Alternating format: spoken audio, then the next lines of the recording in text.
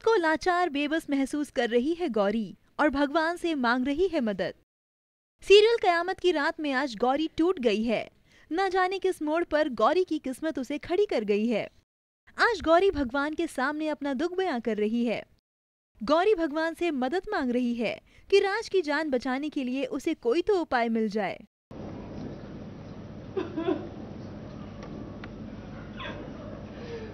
भगवान जी ये सब क्या हो गया?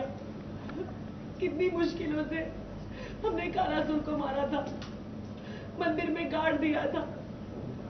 सोचा था कि सारी मुश्किलें, वो खौफ, सब कुछ खत्म हो गया। अब हम हमेशा हमेशा के लिए खुशी से जी पाएँगे। पर ऐसा कुछ नहीं हुआ, भगवान जी। उसका कालासुर का हाथ फिर से वापस आ गया। फिर वो लोगों की जान लेने लगा। गौरी ये नहीं समझ पा रही है कि ऐसे हालातों में वो करे भी तो क्या। कालासुर का शरीर उस संदूक से बाहर निकल गया, गायब हो गया। फिर किसी तरह उस हाथ को सोचा कि सब कुछ ठीक हो जाएगा ऐसा कुछ नहीं हुआ, भगवान जी। राज की जान खतरे में पड़ गई। राज को क्या हो गया, भगवान जी? मैंने मैंने राज के साथ जो होते हुए देखा, वो देखने के बाद मुझे ऐसा लग रहा है कि राज के साथ कुछ गलत हुआ है। कुछ ऐसा जो नज़र के सामने है, पर नज़र नहीं आ रहा। भगवान जी प्लीज़ मेरे राज की रक्षा करो। गौरी को रोता देख राज की सगी माँ सावित्री देख लेती है। लेकिन अफसोस, सावित्री जैसे ही गौरी के पास जाने वाली होती है, कि तभी वहाँ आ जाती है राज की सौतेली माँ उमा जी। जो गौरी को रोता देख अपने सीने से लगा लेती है और हमदर्दी दिखाती है।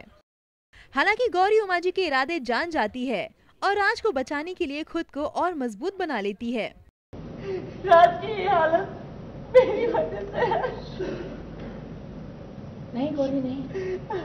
ये सब कुछ तेरी वजह से नहीं। तू ही बता इसमें तेरी क्या गलती है? बस इतना ही ना कि वो काला सच जाता है उसे जाके वो शालिग्राम वरना वो राज को मार देगा सदियों से हमारे घराना ने उस शालीग्राम की रक्षा की और करते रहेंगे। मैं मैं इतनी आसानी से नहीं मानूँगी। मैं इतनी आसानी से हार नहीं मानूँगी। मैं लड़ूँगी माँ। हम सब लड़ेंगे। आइए गौरी के पास ही चलते हैं और जानते हैं पूरे सीन के बारे में वो भी डिटेल में। इस बार क्या हमेशा कालासुर कुछ ना कुछ कर ही देता है, जहाँ गौरी हमेशा परेशान हो जाती है। मतलब गौरी गौरी को खुश नहीं देखना चाहता है। बट स्टोरी यही है कि उसे एक चीज़ चाहिए गौरी से, जिसकी वजह से वो गौरी के पीछे पड़ा है और राज के पीछे पड़ा है, क्योंकि गौरी का हस्बैंड राज है। तो हमेशा मैं भगवान को याद करती हूँ। इस बार भी मैं भगवान को याद करके यही बोल रही हूँ कि भगवान जी प्लीज़ मेरे राज की रक्षा करना, क्योंकि मैं राज से बहुत प्यार करती हूँ और आ, मेरे प्यार के साथ अगर कुछ होता है तो तकलीफ़ होती है गौरी को इसलिए मैं भगवान जी का सहारा ले रही हूँ। गौरी जरा ये बताइए कि राज अपनी गौरी के लिए आने वाले ट्रैक में क्या मुसीबतें खड़ी करेंगे?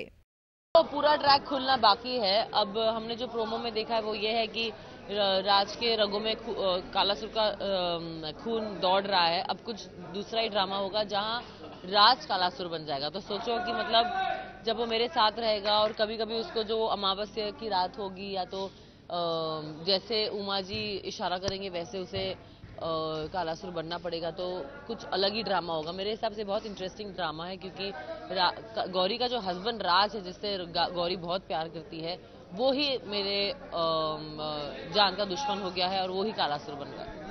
गौरी राज की सौतेली माँ उमा जी ने काफ़ी मैनिपुलेट करने की कोशिशें की हैं, लेकिन उनकी बातें सुनकर आपने राज को बचाने के लिए अपने इरादे और पक्के कर लिए। क्यों? सही कहा ना हमने। जी, बिल्कुल, क्योंकि ये राज की माँ है ही नहीं, ये एक सरप्राइज़ है। राज की माँ कोई और है।